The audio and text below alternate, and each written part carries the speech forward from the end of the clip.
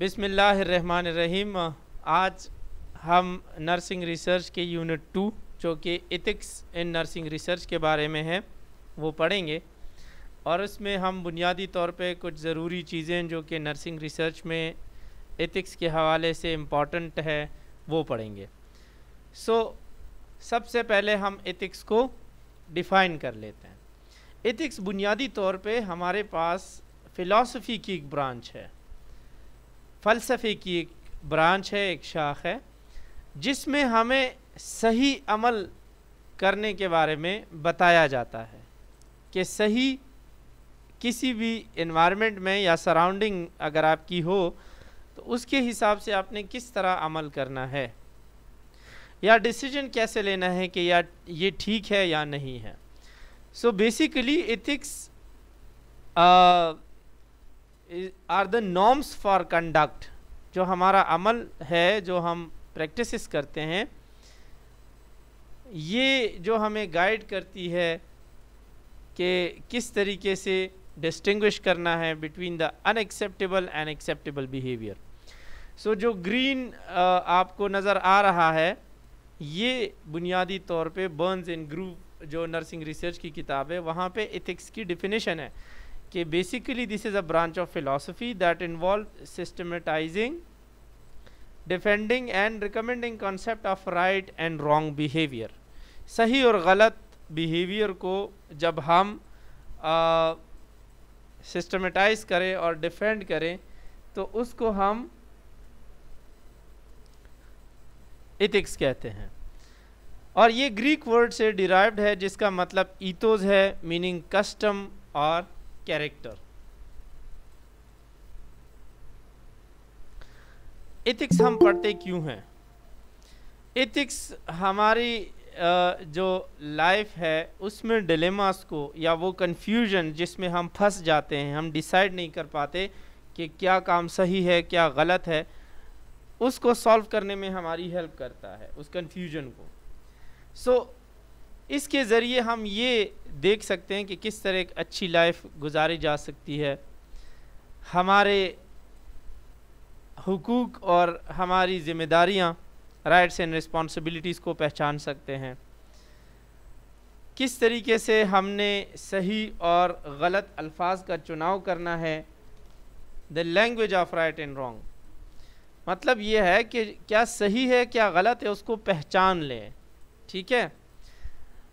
और moral decisions के ज़मीर की जो आवाज़ होती है कि क्या ठीक है क्या गलत है उसको हमने कैसे एक्सप्लोर करना है। सो so, जहाँ पे रिसर्च में इथिक्स पढ़ने की बात आती है तो वो इसलिए कि बुनियादी तौर पे रिसर्च जो है ये पब्लिक ट्रस्ट इसका गेन करना बहुत ज़रूरी है कि लोग इस पर ट्रस्ट करें रिसर्च पे कि ये अगर कोई रिसर्च की गई है तो इथिकली कंडक्ट की गई है। और ये ट्रस्ट वर्ती है। ये यकीन के काबिल है और सोशली रिस्पॉन्सिबल है कि सोसाइटी के लिए जो भी ये रिसर्च की गई है ये सोसाइटी या समाज की बेहतरी के लिए की गई है।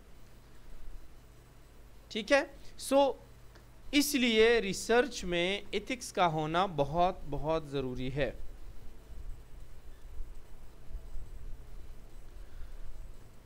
और जहाँ पे सेहत के मतलब हेल्थ रिसर्च की बात आती है तो इसमें इंसान इन्वॉल्व होते हैं। ये हेल्थ रिसर्च ज़्यादातर इंसानों पे होती है। और इंसानों से रिलेटेड जो डेटा होता है, या इनकी बिलोंगिंग्स होती हैं, या ह्यूमन मटेरियल होता है मतलब ऑर्गन्स वगैरह हो गए तो उन पे रिसर्चेज होती है। तो इसीलिए ये एक और भी सेंसिटिव इशू बन जाता है। सो so, इन चीज़ों को देखते हुए हमें रिसर्च एथिक्स लाजमी फॉलो करना है। और इसीलिए कहा जाता है कि it is the duty of researcher to protect life health privacy and dignity of the human subject and to safeguard scientific integrity कि हमने साइंस को भी एक्सप्लोर करना है साइंटिफिक इंटेग्रिटी पे भी हमने काम करना है लेकिन इसके साथ साथ जो लोगों की ज़िंदगियाँ हैं जो उनकी सेहत है जो उनकी प्राइवेसी है और जो उनका एक ख़ुददारी है डिग्निटी है वो हर्ट ना हो उसको नुकसान ना पहुँचे।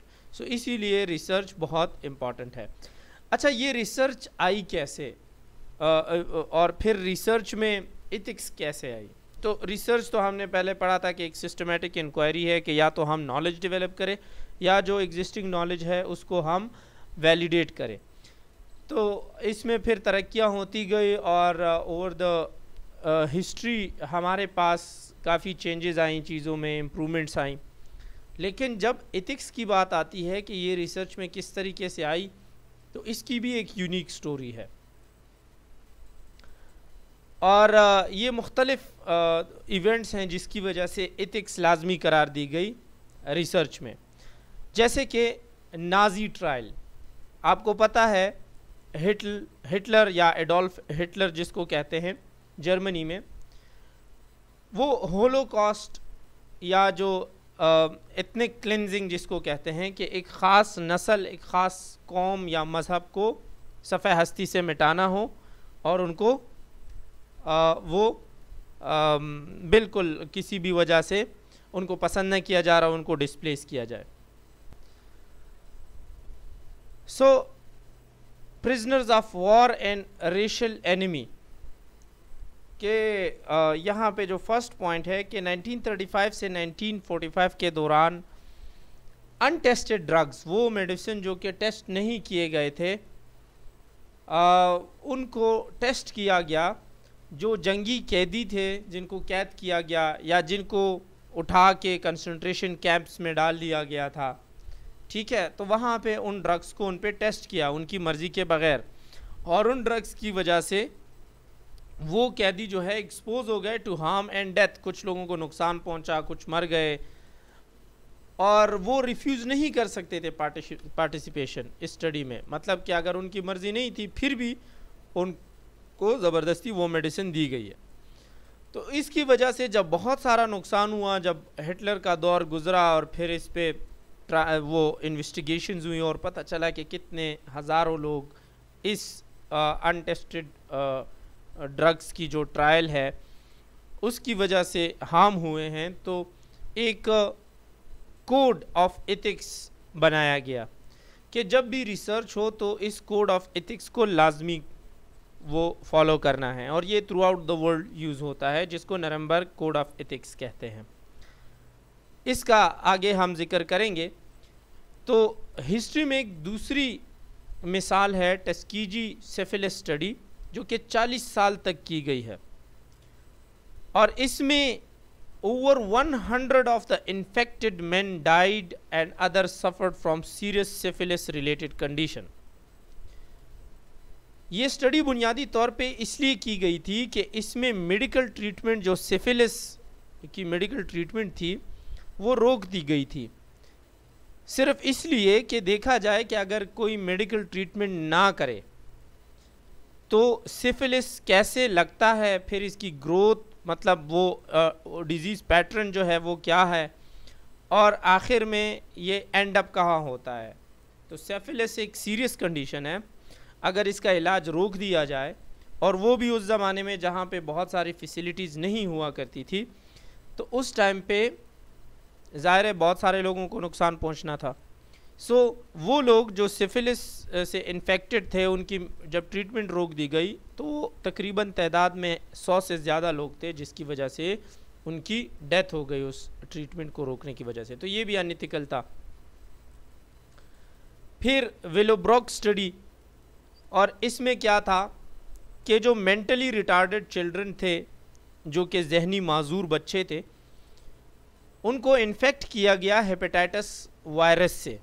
और देख देखना ये था कि ये वायरस किस तरीके से इन्फेक्शन कॉज करता है और इसकी पैथोलॉजी और ये बाकी सारी चीज़ें क्या है। सो so, 1980 में एक और स्टडी सर्वाइकल कैंसर पे की गई। और जिसमें भी वही सिफिलिस के कंडीशन की तरह यहाँ भी सर्वाइकल कैंसर जो डिज़ीज़ है उसकी ट्रीटमेंट रोक दी गई थी उन मरीज़ों में जिनको ये कैंसर था ताकि जे देखा जा सके कि इस डिज़ीज़ पैटर्न में क्या क्या चीज़ें होती हैं। और वो भी फिर आ, आ, उसने भी बहुत सारे लोगों की जान ली थी। सो जो नरेम्बर्ग कोड 1949 में बना था उसके 10 मेन पॉइंट्स हैं। और वो पॉइंट्स क्या है?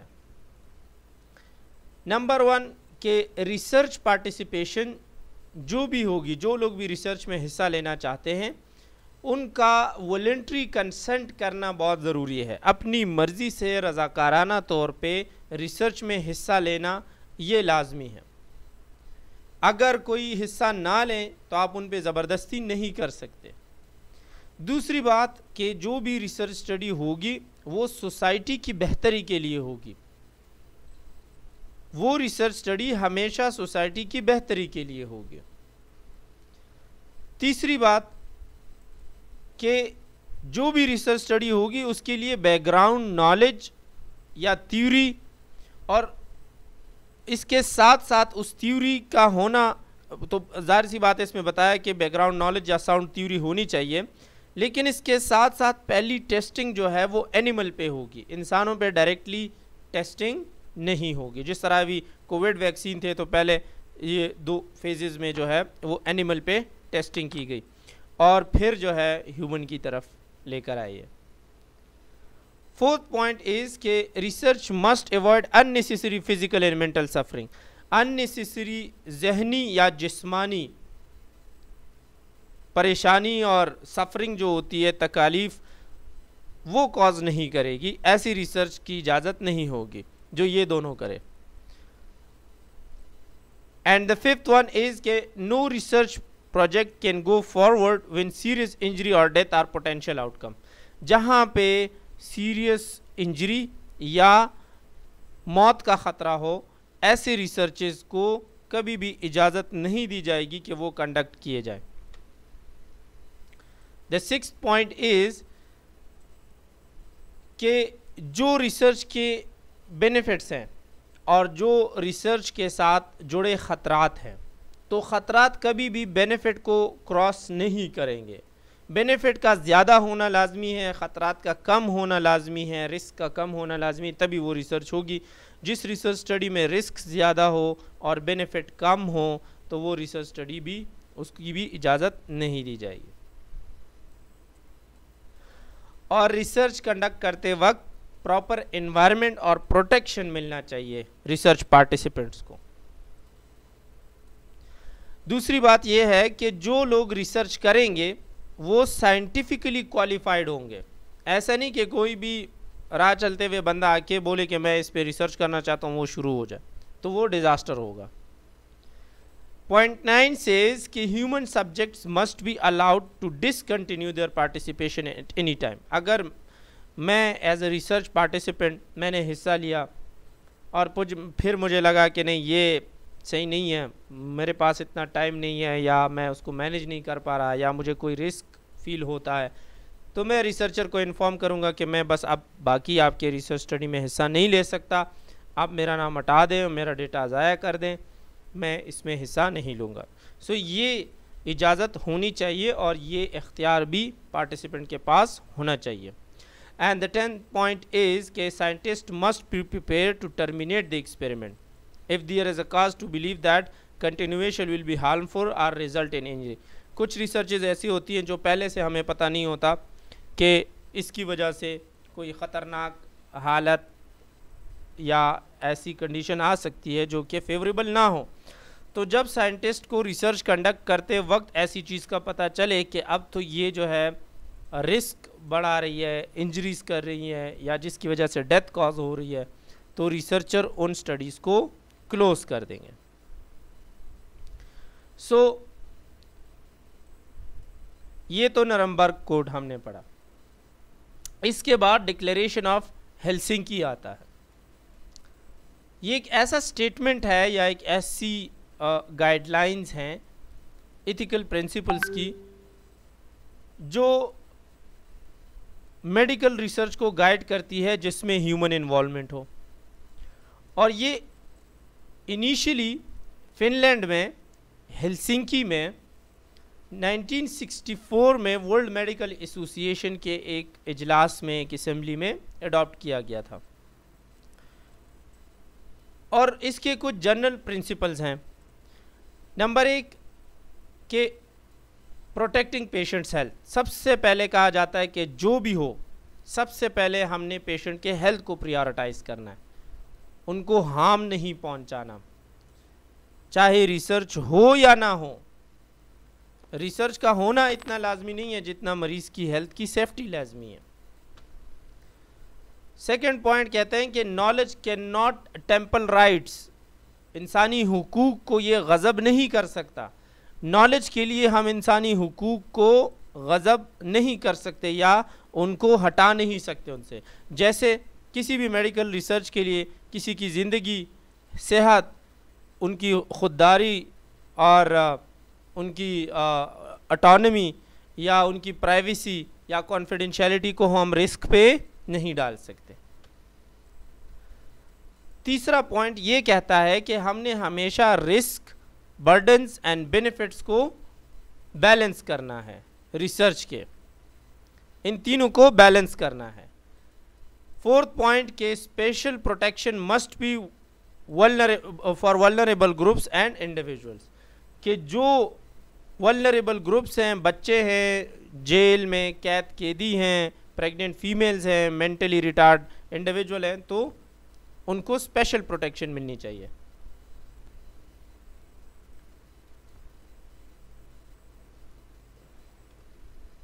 और fifth principle declaration of Helsinki में कहता है कि scientific requirements and research protocol must be followed जो साइंसी रिक्वायरमेंट्स हैं टेक्निक्स हैं प्रोटोकॉल्स हैं नेसेसिटीज़ हैं, उसको ज़रूर फॉलो किया जाएगा, वरना तो रिसर्च को नहीं अलाउ किया जाएगा।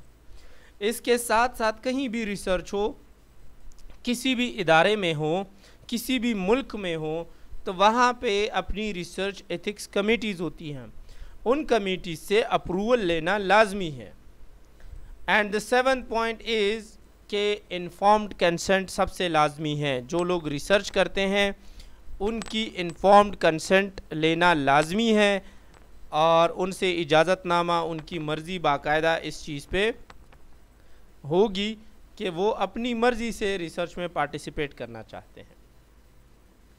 सो so, इसके बाद national commission for the protection of human subjects of biomedical and behavioural research जो है ये एक नेशनल बॉडी बनाई गई यूनाइटेड स्टेट्स में जो कि बायो एथिक्स की पॉलिसीज़ बनाती रही। 1974 में ये वजूद में आई और इसने भी कुछ गोल्स बनाए अपने चार गोल्स इसके साथ ये काम करते हैं इन गोल्स पे, कि बायोमेडिकल और बिहेवियरल रिसर्च जो है, उसकी बाउंड्रीज सेट की जाए। और क्या एक्सेप्टेड है और क्या नहीं, फिर इसके साथ साथ रूटीन प्रैक्टिस ऑफ़ मेडिसिन जो है, उसके हिसाब से देखा जाए। बायोमेडिकल रिसर्च में हम ये फार्मेसी रिसर्च जो होती है, नए ड्रग्स टेस्ट करना वैक्सीन बनना मेडिकल इक्विपमेंट्स बनना, ये बायोमेडिकल रिसर्च होती है। और बिहेवियरल रिसर्च, जिसमें हम डायरेक्टली कोई इंटरवेंशन ऐसी नहीं करते कि वो ह्यूमन हेल्थ को रिस्क पे डाल दें, लेकिन हम उनकी परसेप्शंस को एनालाइज करते हैं और क्वालिटी ऑफ़ लाइफ को जैसे जज करना हुआ, और इस तरह की जो स्टडीज़ होती है, वो बिहेवियरल रिसर्च कहलाती है। दूसरा गोल जो है नेशनल कमीशन का वो ये है कि रिस्क और बेनिफिट को असेस किया जाए for the appropriateness of research, कि इस रिसर्च में ह्यूमन इन्वॉल्वमेंट अगर है तो रिस्क और बेनिफिट क्या क्या है अटैच इसके साथ। और अप्रोप्रिएट गाइडलाइंस बनाई जाए कि एक रिसर्च स्टडी के लिए कितनी जो है वो सैंपल साइज़ होनी चाहिए, किस तरीके की जो है वो सैम्पलिंग होगी मतलब पॉपुलेशन कौन होगा एज ग्रुप क्या है, कौन से इथनिक एरिया में है, क्या मुख्तलिफ़ इसके जो वो प्रोटोकॉल्स हैं, वो भी डिफ़ाइन किए जाएँ कि अगर एक रिसर्च स्टडी होगी, जैसे अभी ये कोविड वैक्सीन तो इसमें 18 साल से ऊपर और 60 साल से कम उम्र लोगों को इनरोल किया गया, क्योंकि इनकी इम्यूनिटी बेहतर होती है comparative to the other groups तो उन पे जब रिसर्च की गई तो फिर ये वैक्सीन की इफेकेसी और ये सारी चीज़ें मालूम की गई। And the fourth point is के डिफाइन करना इन्फॉर्म कंसेंट को in each research setting inform consent में क्या होना चाहिए, क्या नहीं होना चाहिए, ये आगे की स्लाइड्स में हम पढ़ेंगे। लेकिन ये इस नेशनल कमीशन का एक गोल था। तो इसमें कुछ एथिकल प्रिंसिपल्स आ जाते हैं जो बहुत इंपॉर्टेंट है, जो हमें पढ़ना लाजमी है। और वो है principle of respect for person principle of beneficence and principle of justice ठीक है? तो इथिकल और अनएथिकल रिसर्च क्या होती है? इथिकल रिसर्च वो होती है जो कि साइंटिफिक प्रिंसिपल्स को फॉलो करते हुए कैरिड आउट की जाए। और तमाम ये डिक्लेरेशन और नवंबर कोड इसका ख्याल रखा जाए। जबकि अनएथिकल स्टडीज़ वो होती है जो या तो साइंटिफिकली मिसकंडक्ट हो या फ्रॉड हो या अपनी तरफ़ से डेटा बनाना हो या कॉपी पेस्टिंग हो या विदाउट कंसेंट स्टडी की डेटा लिया जाए या फिर वो सोसाइटी के गुड विल के लिए ना हो तो वो अनएथिकल रिसर्च होती है। सो so, जो हमने वहाँ में प्रिंसिपल्स की बात की तो उसमें फ़र्स्ट वन है principle of respect for person कि जो आपके रिसर्च पार्टिसिपेंट है principle of respect for person में सबसे पहले अटोनमी आती है अटोनमी का मतलब ये है कि मैं अपना फैसला खुद ले सकूँ if I have the capacity to determine things for myself and to keep और set goals for myself then I should have the and I should have the right to decide for my myself. अपने लिए goals और अपनी बेहतरी के लिए जो चीज़ मैं बेहतर समझता हूँ जिससे दूसरों को नुकसान ना हो और उसके लिए मैं खुद डिसीज़न लूँ उसको खुद चूज़ करूँ दिस इज़ कॉल्ड अटोनमी ठीक है? सो प्रोटेक्शन ऑफ़ पर्सनस क्या है? विद इम्पेयर्ड और डिमिनिश अटोनमी कि अगर इम्पेयर्ड या डिमिनिश अटोनमी मतलब उनकी होती है वो लोग अटोनमी उनकी आ, आ, जो है आसानी से हर्ट की जा सकती है। जो कि वलनरेबल हो या डिपेंडेंट हो किसी चीज़ पे। ठीक है? फॉर एग्ज़ाम्पल जिनको अब्यूज़ आसानी से किया जाए जैसे प्रेग्नेंट फीमेल्स हैं ठीक है? uh, वो अक्सर क्लिनिशियन डॉक्टर इन लोगों पे डिपेंडेंट होती है। या फिर जो है आप बात कर लें बच्चे हैं जो अपनी हिफाजत नहीं कर सकते या उनके पास आ, आ, वो फैसला करने की वो कैपेबिलिटी तब नहीं होती। या जो है वो मेंटली रिटार्ड या मेंटली इल पेशेंट्स जो है मेंटल इलनेस के साथ हैं पागल खानों में, या जो साइकेट्रिक हॉस्पिटल जिसको कहते हैं इन अदर वर्ड ठीक है? तो उसमें होते हैं, वो लोग बुनियादी तौर पे डिमिनिश और इम्पेयर्ड अटोनमी वाले होते हैं और उनको आसानी से मैनिपुलेट किया जा सकता है, उनका गलत इस्तेमाल किया जा सकता है। सो ये कहते हैं कि ऐसे लोगों का भी डिसीज़न जो है, वो एक प्रॉपर तरीके से लिया जाएगा और उसके लिए अपनी गाइडलाइंस होनी चाहिए। रिस्पेक्ट फॉर पर्सन इंसान है तो इंसान की कदर करोगे। रिसर्च बस ये बताता है। सो so, इसमें फिर आता है सेल्फ डिटर्मिनेशन मैं फैसला कर सकूँ कि मैंने हिस्सा लेना है या नहीं लेना। कोई ज़ोर ज़बरदस्ती मुझ पे नहीं होगी। कोवर्जन का मतलब है फोर्स करना किसी को। कि वो आपके लिए कोई काम करे या आपकी बात माने। So no coercion there will be no no abuse और पावर यूटिलाइजेशन कि वो आपका डिसीज़न माने जो भी पार्टिसिपेंट होगा। एंड फुल डिस्क्लोजर या नो डिसेप्शन मतलब जो भी आप स्टडी करोगे तो पार्टिसिपेंट को उसकी पूरी पूरी इन्फॉर्मेशन दोगे, उनसे कुछ छुपाओगे नहीं। डिसेप्शन नहीं करोगे, धोखा नहीं दोगे, गलत नहीं बताओगे। ठीक है? फुली डिस्क्लोज करोगे ओपन करके बताओगे कि ये चीज़ है ये रिसर्च स्टडी है ये रिस्क है ये बेनिफिट है इतने टाइम के लिए होगी और आप अगर इसमें हिस्सा लेना चाहते हैं तो। सो so, जब आप ये करेंगे तो फिर इनसे साइन लेंगे वॉलेंट्री कंसल्ट लेंगे उनका राजीनामा उस पर दस्तखत लेंगे ताकि आप भी प्रोटेक्टेड हों एज अ रिसर्चर और वो भी हों। और जो डिमिनिश अटोनमी वाले लोग हैं उनके लिए स्पेशल प्रोटेक्शंस हों। सो so, फिर आता है प्रिंसिपल ऑफ़ बेनिफिसेंस बेनिफिसेंस का मतलब है फ़ायदा ही फ़ायदा पहुंचाना है। इसमें नुकसान का तो कॉन्सेप्ट ही नहीं होता। ठीक है? सो so, बेनिफिसेंस का मतलब कि ये रिसर्चर की इथिकल रिस्पॉन्सिबिलिटी है कि वो अपने पार्टिसिपेंट को ज़्यादा से ज़्यादा फ़ायदा पहुँचाए। Maximize the benefit and minimize the possible harms जो रिस्क है हार्म्स हैं उनको मिनिमाइज किया जाए। और इसमें फ्रीडम फॉर हार्म हो फ्रॉम हार्म हो, कि नुकसान से आज़ादी हो। कोई ये ना फील करे या किसी को नुकसान ना पहुँचे आपकी स्टडी में। फ्रीडम फ्रॉम एक्सप्लाइटेशन गलत इस्तेमाल, ठीक है? कर रहे हो आप स्टडी बिहेवियरल टाइप की मतलब उनसे इनकी जो पर, परसेप्शंस हैं या एग्ज़ाम के हवाले से फीलिंग्स के बारे में आप बात करो। और फिर बाद में वही डेटा ले जाके जो एग्ज़ाम अथॉरिटी है उनको गलत गाइड करके बोलो कि ये लोग तो ये ये कह रहे हैं फ़लाँ ने ये कहा फ़लाँ ने ये कहा और पर्सनली टारगेट किया जाए एक्सप्लॉयट किया जाए गलत इस्तेमाल किया जाए। And the third one is risk benefit ratio क्या रिस्क अटैच हैं, क्या बेनिफिट्स हैं, उनका रेशो क्या है? रिस्क हमेशा कम होना चाहिए, बेनिफिट ज़्यादा होना चाहिए। जिन स्टडीज़ में रिस्क ज़्यादा हो, उन स्टडी को कंडक्ट ही नहीं किया जा सकता। इसके बाद है प्रिंसिपल ऑफ़ जस्टिस। जस्टिस का मतलब ये कि सबके साथ आप इंसाफ के साथ पेश आए। जो भी आपके रिसर्च पार्टिसिपेंट है, सबको इक्वली ट्रीट किया जाए।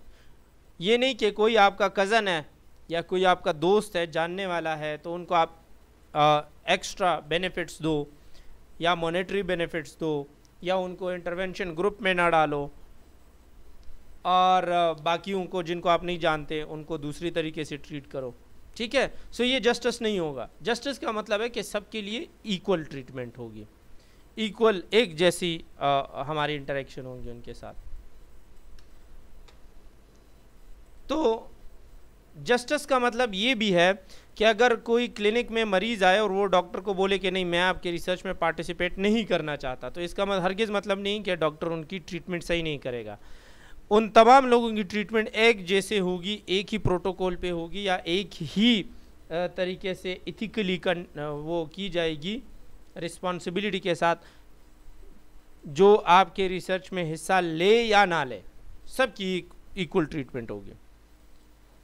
ठीक है? और इसके साथ साथ ट्रीटमेंट जो है during the study for example नई वैक्सीन निकली या कोई मेडिसिन निकली और आप के दोस्त या कुछ रिश्तेदार जो है वो उस स्टडी में पार्टिसिपेट कर रहे हैं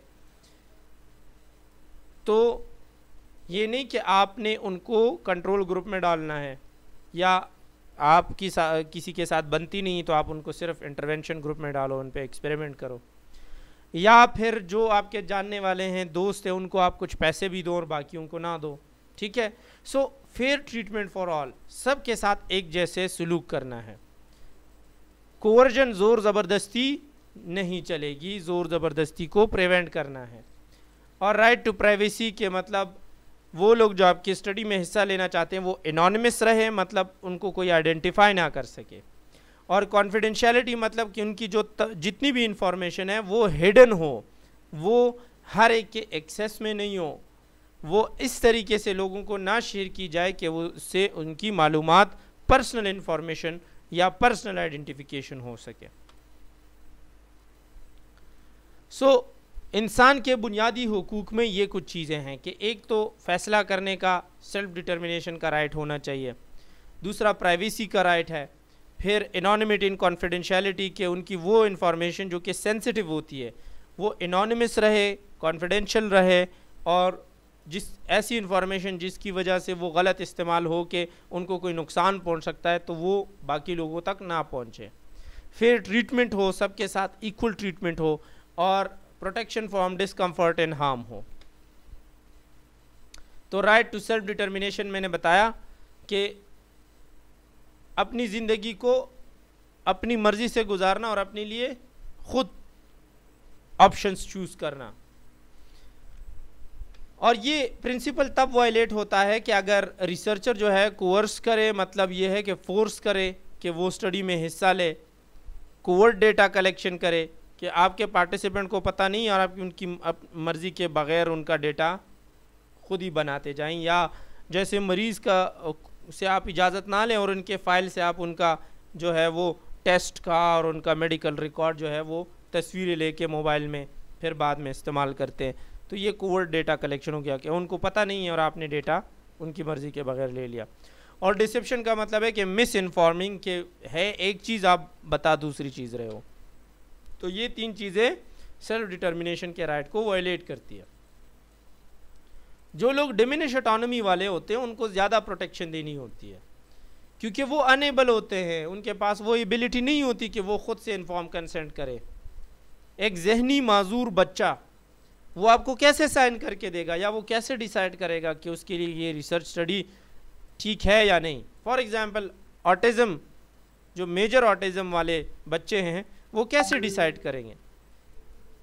या जो वो लोग जो कि लाइफ लॉन्ग बेड पे हैं, किसी भी माजूरी की वजह से, या वो लोग जो जेल में 25 25 तीस साल गुजार रहे तो वो डिमिनिश अटानमी वाले होते हैं। सो उनको स्पेशल प्रोटेक्शन देनी है। और इनमें कौन कौन आते हैं? लीगली और मेंटली इनकम्पिटेंट या तो कैदी हो गए, या फिर जहनी माजूर हो गए। न्यूनेट्स एंड चिल्ड्रन आ गए। टर्मिनली इल सब्जेक्ट्स मतलब कैंसर पेशेंट्स जो होते हैं या वो जिनका इलाज फिर मुमकिन नहीं होता। People confined to an institution college के स्टूडेंट हैं उनसे आप ज़बरदस्ती डेटा लो उनको बोलो आपने मेरी रिसर्च में पार्टिसिपेट करना है वरना मैं आपको क्लास में नहीं छोड़ूँगा। ये नहीं करूँगा वो नहीं करूँगा सो so, एक ये कन्फाइंड इंस्टीट्यूशन एक ही इदारे तक महदूद है एक बाउंड्री तक महदूद है उनसे आप ज़ोर ज़बरदस्ती करके डेटा लो। और प्रेग्नेंट वुमेन और उनके जो बच्चे हैं फीटसेस हैं वो डिमिनिश्ड या जो वलनरेबल पॉपुलेशन में आते हैं। ठीक है? क्योंकि फीमेल को नहीं पता कि फ़लाँ मेडिसिन का उसके फीटस पे क्या इफ़ेक्ट होगा। तो क्लिनिशियन को चाहिए कि वो उन दोनों को बेहतर तरीके से ट्रीट करें और सेफ़ रखें। सो so, जहाँ पे राइट टू प्राइवेसी की बात आती है तो राइट टू प्राइवेसी का मतलब यह है कि मैं एज अ ह्यूमन मुझे हक हो कि मैं चाहूँ कि मेरी कितनी इंफॉर्मेशन किन लोगों तक किस वक्त पहुँचनी चाहिए। और कौन सी इंफॉर्मेशन उन तक ना पहुँचे। ठीक है? The circumstances under which private information will be shared or withheld from others ठीक है? और इसका मतलब यह है कि मेरी हेल्थ के आइडेंटिफाइबल इंफॉर्मेशन हर किसी के साथ शेयर ना किए जाए। ठीक है? सो so, ये बुनियादी तौर पे राइट टू प्राइवेसी में क्या क्या चीज़ें आती है? नाम जियोग्राफिक इंफॉर्मेशन उनके डेट ऑफ़ बर्थ और ये सारी चीज़ें phone number social security number S S means medical record certificate vehicle identifier device identifiers network जो वेबसाइट्स वगैरह हैं आईपी एड्रेसेस हैं फिंगरप्रिंट्स हैं वॉइस प्रिंट्स हैं फ़ोटोज़ हैं तो ये तमाम प्राइवेट डेटा में आता है। ये विदाउट कंसेंट आप नहीं शेयर कर सकते किसी के साथ। और डेटा को इस्तेमाल करने के लिए एग्रीमेंट होता है। आपने देखा होगा कि आप मोबाइल में कोई नया एप्लीकेशन डाउनलोड करते हैं तो आपसे डेटा यूज़ एग्रीमेंट मांगते हैं। और आप एक्सेप्ट करते हैं विदाउट पर डे कि आप उसको रीड करें और आप एक्सेप्ट एक्सेप्ट कर लेते हैं। इस पर आपका बहुत सारा पर्सनल डेटा उन कंपनीज़ के पास चला जाता है, क्योंकि आपने तो उनको कंसेंट दे दिया। अब ये गलती तो आपकी है कि आप पढ़ते हैं या नहीं पढ़ते।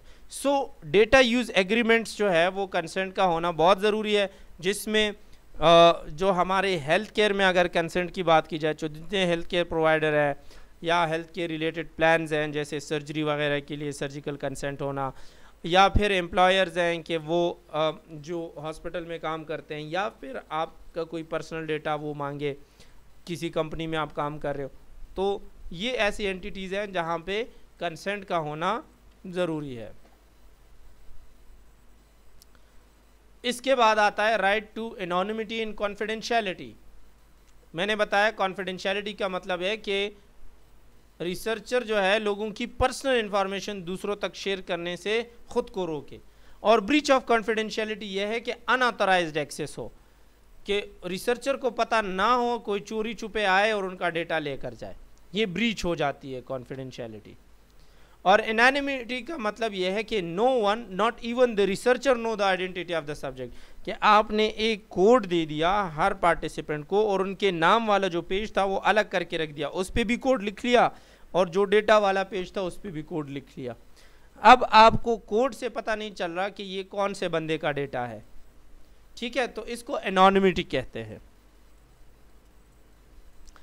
और जिस तरह बेनिफिशंस की मैंने बात की थी कि बेहतरी बेहतरी और फ़ायदा पहुंचाना है तो right to protection from discomfort and harm का मतलब एथिक्स में इसको नॉन मेलेफिशंस कहते हैं कि चाहे जो भी हो जाए, आपने नुकसान नहीं देना। ये यू शुड नॉट हार्म ठीक है? और ये रिसर्च पार्टिसिपेंट को नुकसान से बचाने के लिए ये बड़ा इंपॉर्टेंट प्रिंसिपल है। और ये कहता है कि नॉट इवन एंटिसिपेटेड इफेक्ट्स जिन चीज़ों की हम फ्यूचर में एक्सपेक्टेशन रख के शायद ये हो, इस तरह नुकसान पहुँचे या थोड़ी सी तकलीफ़ पहुँचे, वो भी पॉसिबल ना हो। मतलब वो उसकी भी इजाज़त ना हो। नॉन मेलिफिसेंस आपको इतना भी करने से रोकता है। नॉन मेलेफिसेंस कहता है कि चाहे परमानेंट हो या टेम्प्रेरी डिस्कम्फर्ट हो, किसी भी लेवल का, वो एक रिसर्च स्टडी में नहीं होना चाहिए। परमानेंट डैमेज का रिस्क तो बिल्कुल नहीं होना चाहिए। और इवन सर्टेनिटी होनी चाहिए। आपको पता हो कि ये डैमेज पहुंचेगा, नहीं पहुंचेगा you should be certain about it अगर आपको यकीन के साथ आप नहीं कह सकते कि ये स्टडी सेफ़ है या नहीं you can not conduct this kind of study so informed consent क्या चीज़ होती है? सो इन्फॉर्म कंसेंट का मतलब आप सबको पता है जिस तरह हॉस्पिटल में सर्जरी से पहले राजीनामा फॉर्म भरते हैं वो एक इन्फॉर्म कंसेंट है। और यही चीज़ हमारे पास रिसर्च में भी होती है कि जब हम रिसर्च पार्टिसिपेंट से इजाज़त लेते हैं कि आप इस रिसर्च स्टडी में हिस्सा लेना चाहते हैं या नहीं तो हम उनसे इन्फॉर्म कंसेंट साइन करते हैं। सो so, इसको प्रॉपरली ये आपकी स्टडी को एक्सप्लेन करता है। दूसरी बात यह है कि जो जिन लोगों से आप इन्फॉर्म कंसेंट लेते हो वो कॉम्पिटेंट हो उनके पास वो इख्तियार हो कि वो अपने लिए डिसाइड कर सके। मैंने डिमिनिश अटानमी वाले लोगों का ज़िक्र किया तो वो ख़ुद से इन्फॉर्म कंसेंट नहीं साइन कर सकते। सो ऐसे लोग फिर उनके बिहाफ पे, उनके नेक्स्ट ऑफ़ किन या फिर जिनके पास अथॉरिटी होती है, वो इन्फॉर्म कंसेंट साइन करेंगे। और कंसेंट का वॉल्ट्री होना या रज़ाकाराना तौर पे होना बहुत लाजमी है। ठीक है? यहाँ पे इस स्लाइड में आपको कुछ एजेंशियल जो पार्ट्स है या इंफॉर्मेशन है जो आपने एक इन्फॉर्म कंसेंट में देनी है वो ये है कि जितनी भी आपकी रिसर्च एक्टिविटीज़ हैं उसका इंट्रोडक्शन हो इसकी एक्सप्लेनेशन हो उसका पर्पज़ हो और उसके रिस्क और बेनिफिट्स हों ठीक है?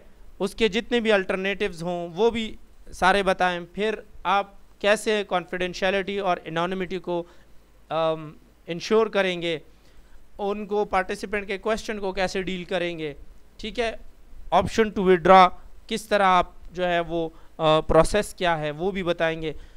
सही है तो ये तमाम कंपोनेंट्स जो है वो इन्फॉर्म कंसेंट में होंगे।